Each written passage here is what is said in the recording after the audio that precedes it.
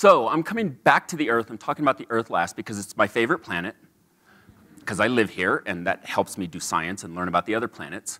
Um, and we have lots of examples of catastrophic geology in the solar system. And one that you might not think about is life. Life affects the rocks, it affects the atmosphere, it affects everything to do with the Earth.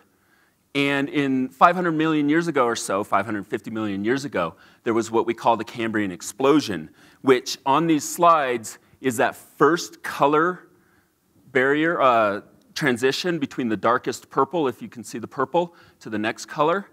You can see there were a few species, and then all of a sudden life exploded onto the Earth.